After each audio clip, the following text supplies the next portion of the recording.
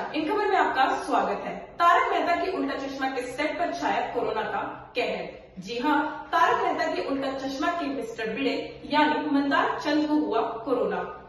बता दें कि मंदार चंद ने कुछ दिन पहले ही कोरोना से संबंधित अपने अंदर लक्षण पाए, जिसके बाद उन्होंने अपनी कोरोना की जाँच कराई। लेकिन जाँच से पहले ही उन्होंने कई सावधानियाँ भी बरती।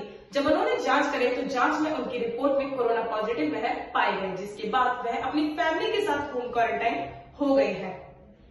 तारक मेहता के सेट पर पहले भी कोरोना मरीज़ पाए गए हैं। जी हाँ तारक मेहता के सेट पर सुंदरलाल, यानी दया बहन के भाई भी कोरोना पॉजिटिव पाए गए थे। जिसके बाद वह अभी भी अस्पताल में भर्ती है।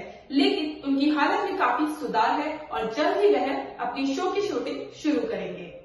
इसके साथ ही तारक मेहता के स्तर पर जो लोग सुंदरलाल मिस्टर बिड़े के साथ संपर्क में आए थे, उन सभी की कोरोना जाँच कराई जाएगी और साथ ही तारक मेहता के सेट को पूरी तरह से सैनिटाइज किया जाएगा। इस खबर के अपडेट पर रहेगी हमारी नज़र। आप देखते रहिए इन खबर। धन्यवाद। इन खबर चैनल को सब्सक्राइब करें।